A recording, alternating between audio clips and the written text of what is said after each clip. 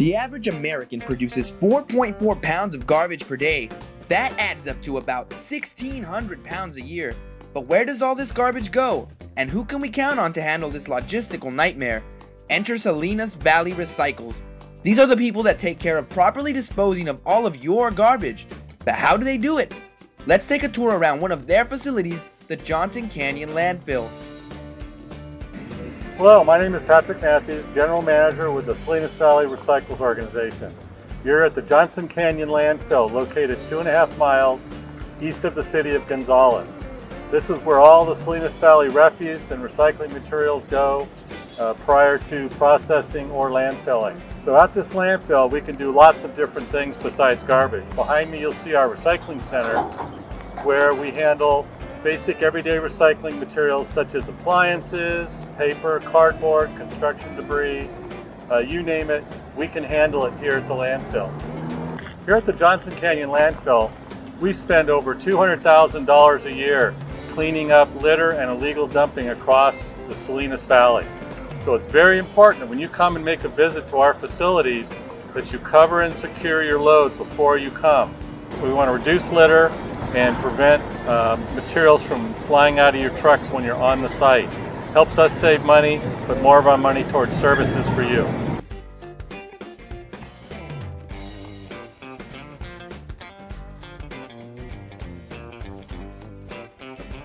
All right, here we are in front of our cardboard and rigid plastic recycling area. So if you're a business or a homeowner and you have a lot of extra plastics, tiny pots, and other kids' toys, as well as all of your old cardboard and your shipping materials, you can bring them here free of charge. Welcome to the Johnson Canyon ABOP. ABOP stands for antifreeze, battery, oil, and paint. If you have leftover automotive batteries, household batteries, rechargeable batteries, uh, motor oil, antifreeze, or latex paint, you can bring them here free of charge seven days a week. Here you are at one of the most popular areas of the MRC, Materials Recovery Center, Johnson Canyon Landfill. Here you can bring your old and used mattresses and box springs, used tires, and electronic waste, including televisions, old recording equipment, computer equipment, and anything electronic. Here we are at the used clothing and textile donation area of our MRC. In this area you can bring your used clothing, bedding, towels, and other textiles. The clothing will be cleaned and redistributed to low-income communities, and the rest of the material will be repurposed for other types of textile uses.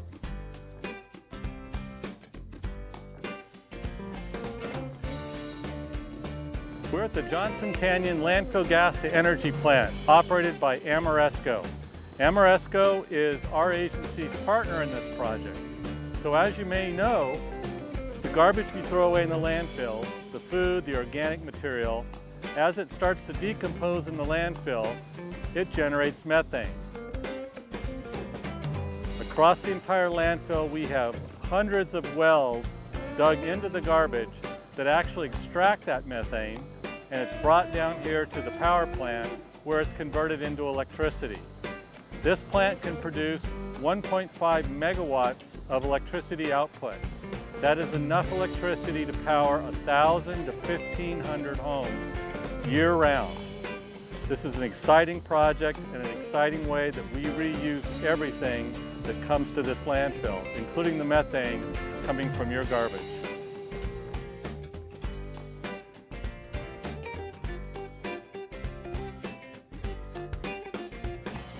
Welcome to the Johnson Canyon landfill. What you see behind me is Module 7. Landfills are typically built in pieces, or what we call modules. This is the seventh module of 10 planned modules for this facility. This is the largest constructed module that we've had. This one will last us approximately six years for interim life. And down the road, once all the modules are built, we'll again go back on top of the entire site and do additional filling to fill out the remaining life of the site. A modern landfill is made of many, many layers. It starts with well-compacted soil, topped off with two feet of clay, and then what we call geosynthetic clay liner, which is a very, very fine powdery substance that is wedged between fabric and provides a lot of protection for water leaking out of the landfill. On top of that goes a 60 mil layer of polyethylene plastic, fused and seamed across the entire 10 acres of the site. After that, there's a drainage layer placed on top that allows the bottom of the landfill to collect any liquids that are leaving the landfill. Those liquids are called leachate, and they collect at the base of the landfill and are pumped up to a storage container. On top of that drainage layer goes two feet of protective soil, which protects the underlying multi-layer liner system from being punctured by garbage, sharp objects, or wood. Once that's completed, then the landfill can begin accepting all types of materials for disposal. The current landfill has between 30 and 35 years of remaining life. The area to my right, the large hill behind the new hole or, or Module 7 that you're looking at, that is our last completed landfill area. It is almost at final height, but there again will be some additional garbage placed on that at the end of the landfill's life.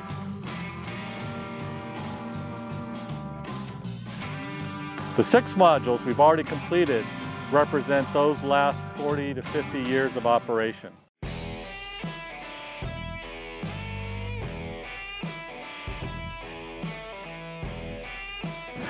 Here we are on top of Module 3, one of the older areas of the Johnson Canyon landfill. I'm standing on over 150 feet of garbage. If you live in the Salinas Valley, I'm standing on something you've thrown away over the last 20 to 30 years. When we receive your garbage here, we do several things with it.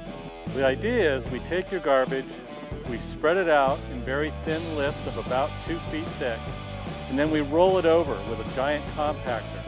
Compactor is a giant piece of equipment with large heavy teeth and it weighs over 140,000 pounds.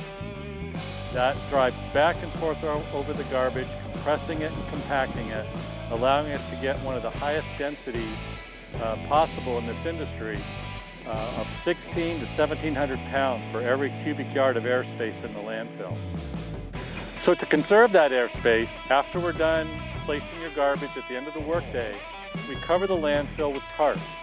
That preserves space instead of using soil, which is the traditional old-fashioned method.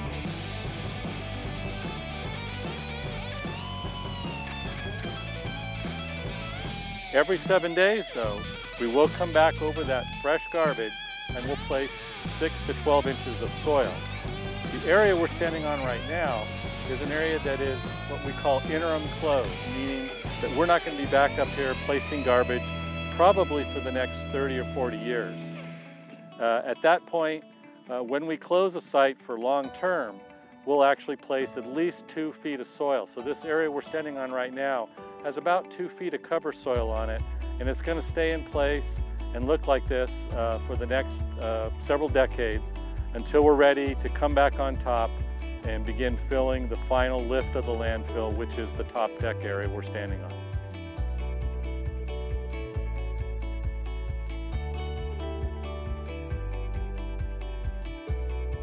All right, the area behind me is our organics stormwater pond. This is the area that collects stormwater and water that's coming off of our composting and organics preparations area. This pond is lined with the same plastic material that we use to line the landfill. That protects the environment, it protects the dirty water coming from our compost operation from seeping into the groundwater, and allows us to store this water and actually reuse it in the composting operation itself.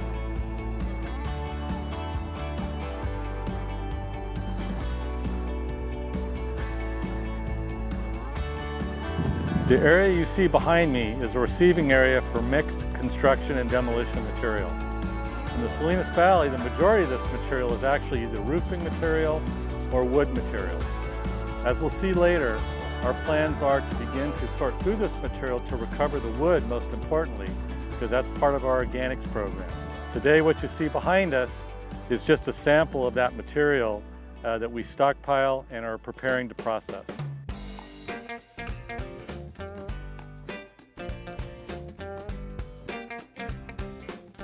Behind me you see our new sorting line.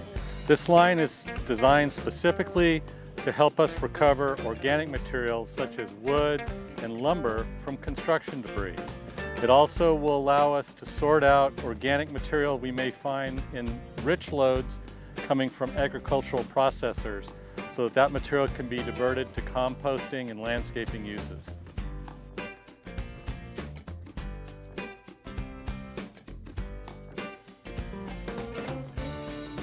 Here we are at Johnson Canyon's concrete, asphalt, and porcelain recycling area. All the material you see behind me will eventually be ground up and used for various aspects of road construction, either on the landfill or sold to contractors to prepare areas to receive asphalt and concrete.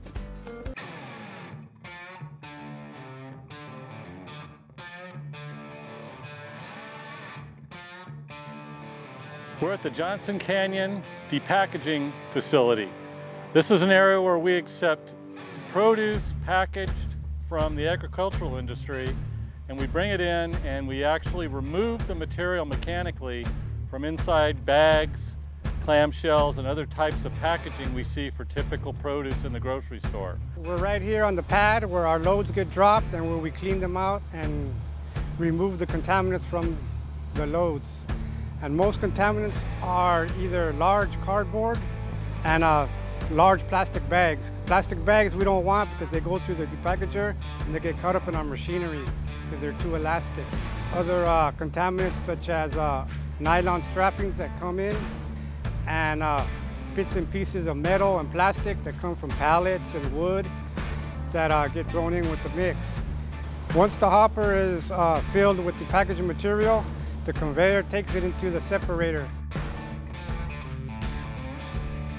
and it drops it into the separator chamber which contains uh, uh, numerous paddles that spin and uh, release the material from the packages and separates it. And in the bottom we have screens which we have right now I think are inch and a half holes which pushes the organic material down into a separate chamber which leads to a conveyor belt, which leads to our organic release point. And uh, the garbage, once the garbage is, is, is separated from the organic material, it goes out one conveyor and the organic material goes through another conveyor and that's how everything gets separated. And the organic material comes out as a slurry. We call it a salsa because it looks like a green salsa. And uh, that's what we use for the composting.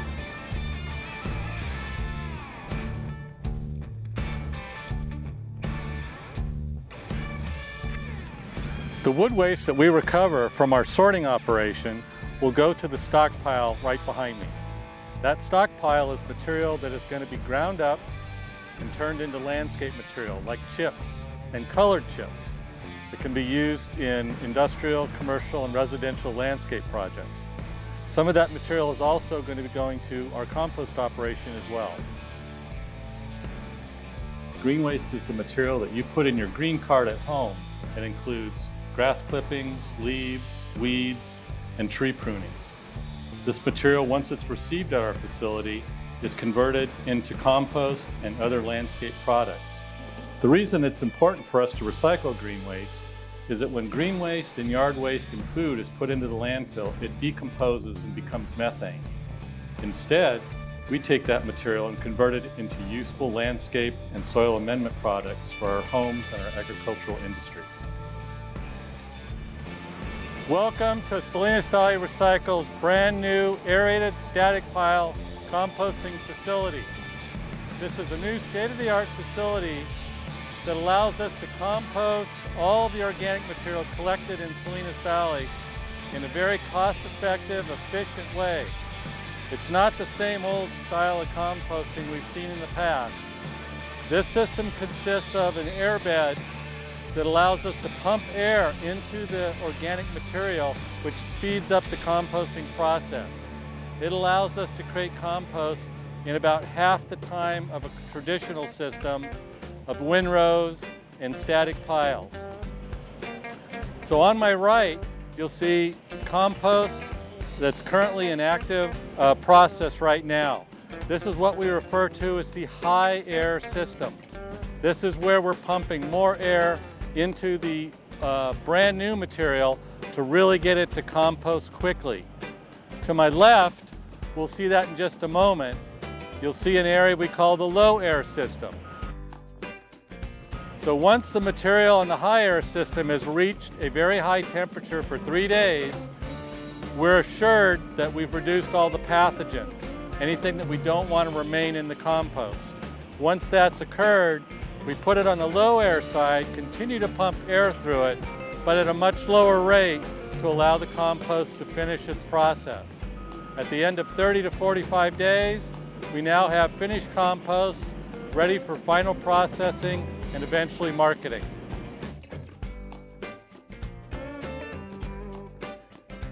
Thank you again for visiting the Johnson Canyon landfill. We at Salinas Valley Recycles are striving every day to change the way we handle our waste, find better and more innovative ways to reduce, reuse, and recycle the things we throw away every day. We want you to be part of that. So thank you very much for coming here, and we hope to see you again very soon. Bye.